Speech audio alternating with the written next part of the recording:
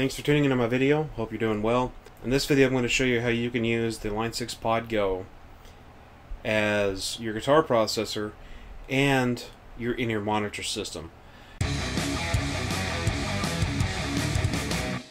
Richie Castellano released a video a few years ago about this with the Line 6 Helix. You can do this with the Pod Go, but you have to get your routing just right because it is a serial uh, path here.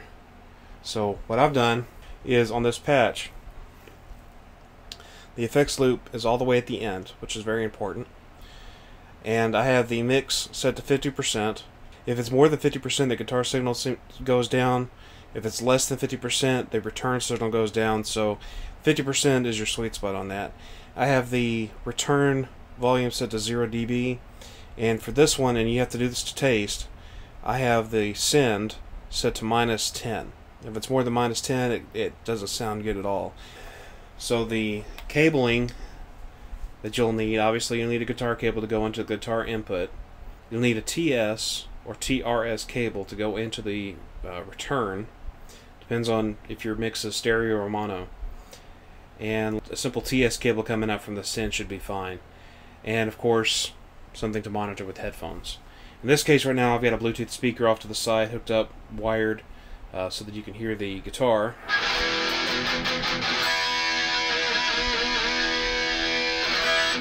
In this case I have the iPad hooked up to the return for the backing track and the guitar going all out to my IK Multimedia iLoud so that I could hear everything. So essentially the iLoud would be what you would hear through the headphones, what you would monitor. So here's the backing track.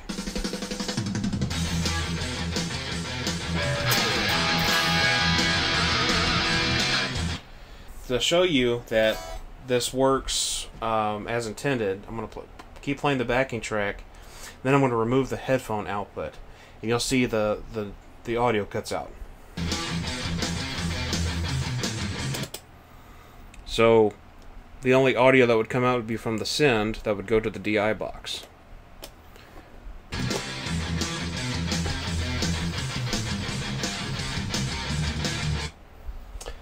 So that's how you can use the Line 6 Pod Go as your in-ear monitor system. You could either hook this up to a wired in-ear monitor system or like the XV U4 uh, to get wireless in-ear monitors. Um, or you can just use regular wired headphones. A headphone extension cable and in-ears. There's all kinds of different ways you can do it. Line 6 Pod Go is very versatile. It's not nearly as versatile as the Helix, uh, but you can achieve this if you're wanting a very compact way to not only get HX tones, but also monitor a backing track or live musicians from a monitor mix. If you found this video helpful, please like, share, and subscribe. Take care.